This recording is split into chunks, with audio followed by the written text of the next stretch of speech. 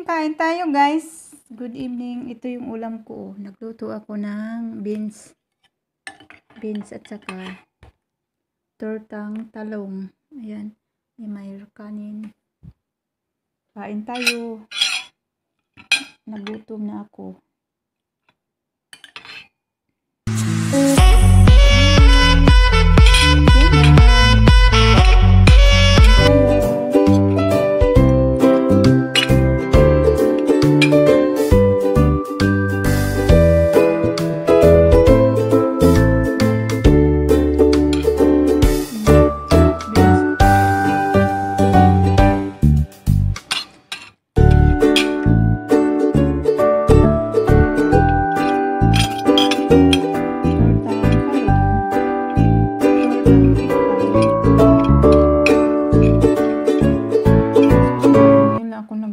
Nasipag akong luto.